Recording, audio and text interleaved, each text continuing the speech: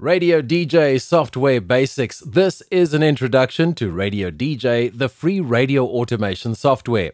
If you have never used Radio DJ, or you have, but you feel like you might need some more info on how to use Radio DJ more effectively, then you've come to the right place. If you have not yet installed Radio DJ, be sure to watch my video on an easy installation. The link is in the description.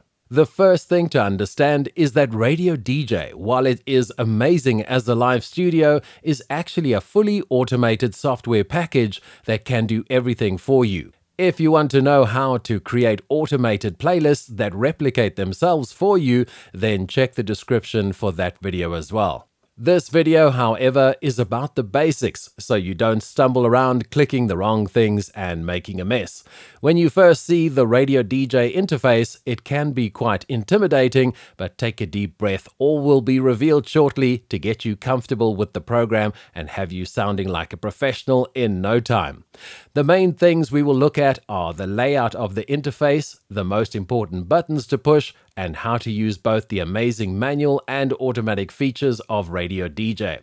So, if you were worried about looking like an amateur, take comfort in that you can look like a pro after this video. Let's start with the fun stuff first. Radio DJ is a music player and a music mixer. This section here is where your songs go, whether you are live or automated. You can either drag and drop songs here that will form a mini playlist or you can have pre-made playlists that will load automatically into the same area.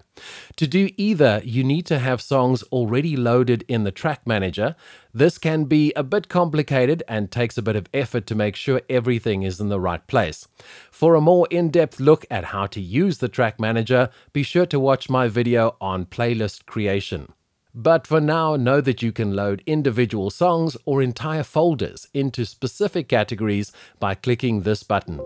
If you see this appear on your screen, it means that you have not yet logged in as admin. So do that by using the username and password as admin. Then this will allow you access to all the buttons and settings.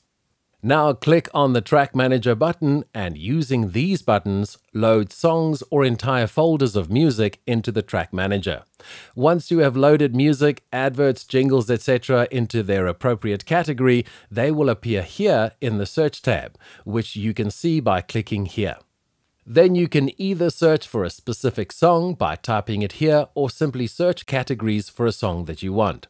Left click and drag it onto one of these spaces on the mini playlist. You can move them around, delete them from the list, or view some information about the song or advert, etc. by clicking here. You can edit the track intro and outro settings by clicking on a song in the search area so you can sound like a real professional when you talk across the intro of a song up to the vocal start.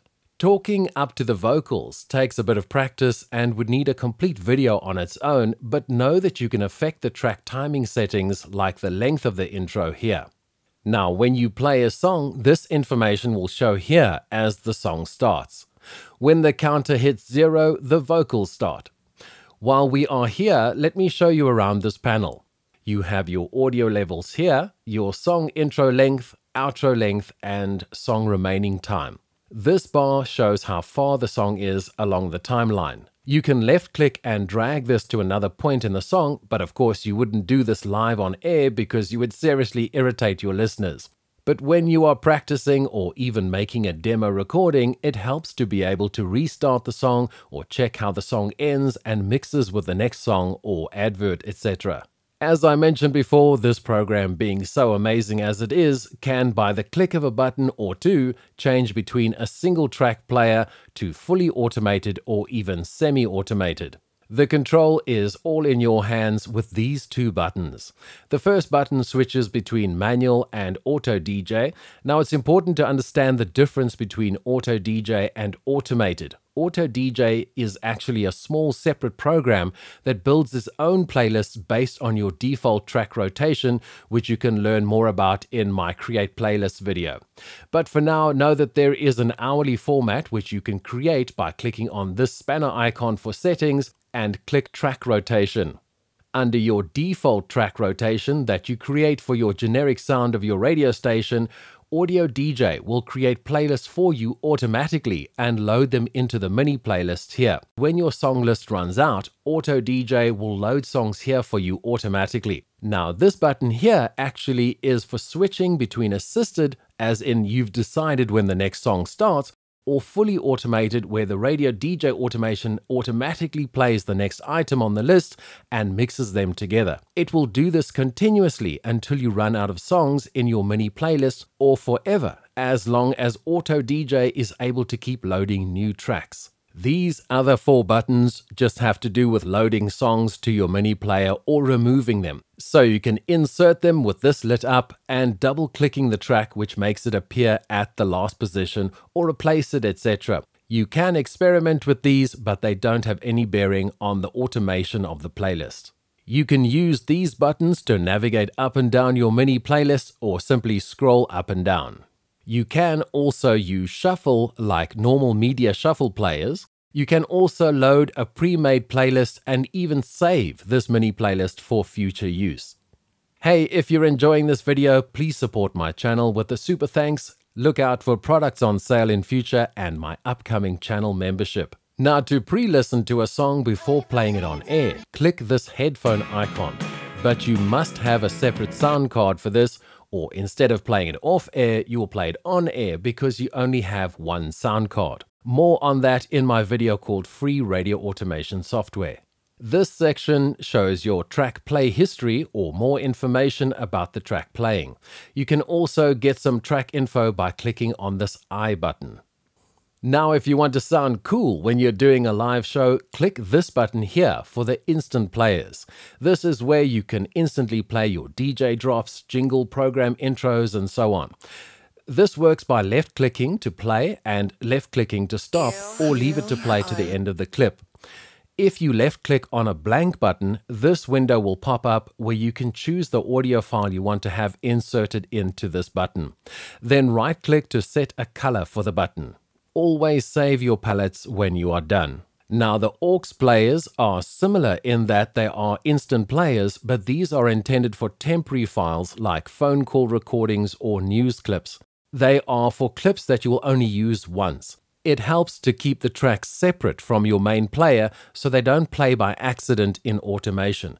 Just drag the track in here from the search panel. For example, here are recordings of callers. Shout out to my family in Nebraska. Keep on keeping on.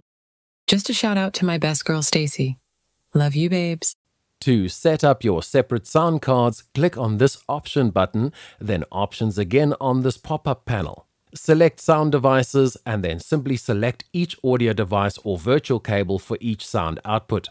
If you are streaming straight from your Radio DJ software to a streaming app, then you can either have your main speaker output to the input of the streamer or you can use a virtual mixer like Voicemeeter Banana. You can use your speaker output as the second channel input, microphone as your first, and send your virtual cable input as the mixer output and select your streamer audio as the virtual cable output. To get your free virtual cable, see the link in the description.